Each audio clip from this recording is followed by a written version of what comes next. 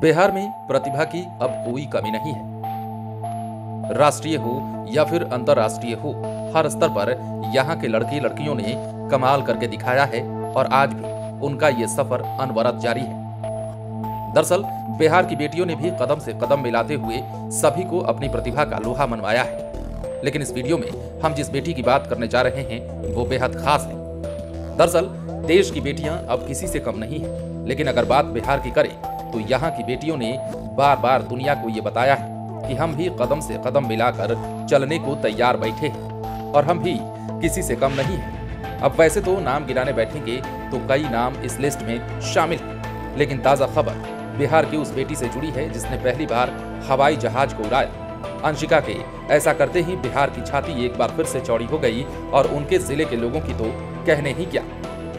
ज़िले के लोग अपने आप को गौरवान्वित महसूस कर रहे हैं और खासतौर पर अंशिका के गाँव और परिवार के लोग इस खुशी से फूले नहीं समा रहे हैं। अब हम आपको खबर जरा विस्तार से बताते हैं। दरअसल, बिहार के मुजफ्फरपुर के मुशहरी के रोहुआ की रहने वाली अंशिका ने ज़िले के साथ साथ बिहार का और देश का नाम रोशन किया है। रोहुआ की अंशिका सिंह का सिलेक्शन कमर्शियल पायलट के रूप में हुआ है। अंशिका ने ओडिशा के एयरपोर्ट पर बतौर पायलट सफलतापूर्वक पहली बार उड़ान भरी।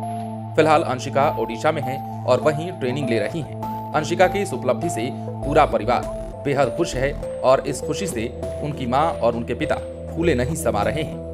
दरअसल, ये भी बता दें कि अंशिका सिंह ने कन्हौली स्थित डॉल्फिन पब्लिक स्कूल में नर्सरी से इंटर तक की पढ़ाई पूरी की थी, जिसके बाद उसका सिलेक्शन दिल्ली से एक कमर्शियल पायलट के रूप में हुआ। इसके बाद मंगलवार को उसने ओडिशा के एक एयरपोर्ट से सफल उड़ान भरकर पूरे ज़िले का नाम रोशन कर दिया और इसके साथ ही अंशिका ने पहली बार हवाई जहाज़ को सफलतापूर्वक उड़ा भी लिया।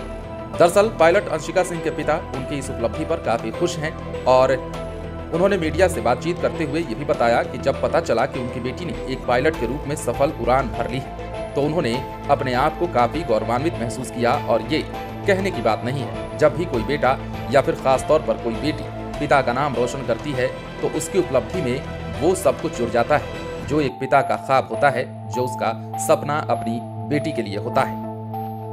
उन्होंने ये भी कहा कि वो शुरू से ही पढ़ने लिखने में काफ़ी दिलचस्पी दिखाती थी। साथ ही कन्हौली स्थित डॉल्फिन पब्लिक स्कूल को भी उन्होंने धन्यवाद दिया, जहाँ उनकी लड़की ने नर्सरी से लेकर इंटर तक की पढ़ाई पूरी की और आज उसी नींव की बदौलत उसने बड़ी इमारत खड़ी कर दी है, वो भी सफलता की।